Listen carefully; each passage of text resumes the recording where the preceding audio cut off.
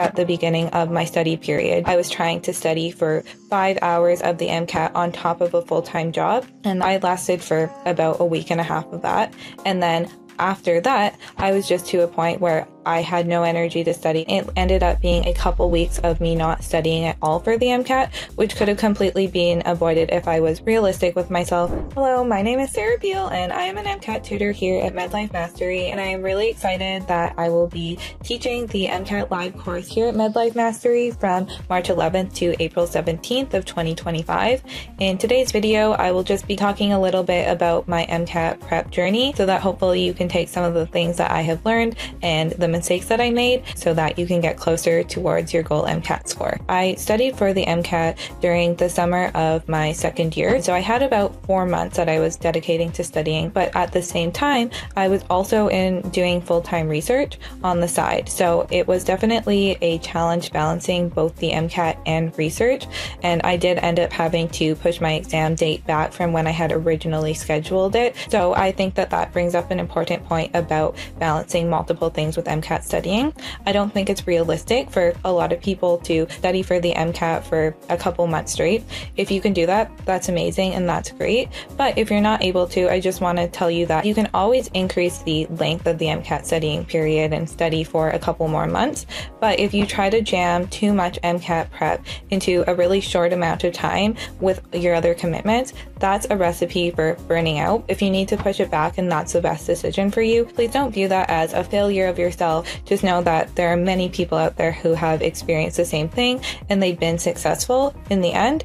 So just don't worry too much. So, something else that I really struggled with is that I went into the MCAT without taking physics and without taking biochemistry. So it can be really intimidating going into the MCAT where you know you're going to be tested about these topics without having a really good background on it. But I am here to tell you that it will just take a little bit more effort up front, but it's definitely doable. Spend a little bit bit of time at the beginning of your MCAT prep to essentially do a crash course on any of the topics that you are unfamiliar with or that you kind of are forgetting, trying to get a good background information for all of these topics. Looking back now on things that I wish somebody would have told me when I first started is that you will be bombarded with just so many different resources that it's really difficult to know which ones are best. When I initially started out, I was just of the mindset that I had to use almost every single single resource that I found in order to be successful, but really that couldn't be further from the truth. Find just a few good resources and focus on doing them completely. Some content review sources, so that can be either videos or you can read some books. In terms of practice problems, I think that UWorld is a really good resource.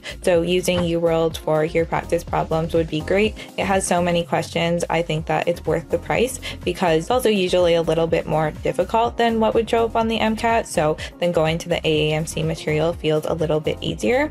Also, if you are in a time crunch or you're just wondering what would be the most important resource to use, anything that you buy from the AAMC website is going to be really important, especially the section banks because those are released most recently. So they're going to be more representative of how the test is now, as well as the full length exams.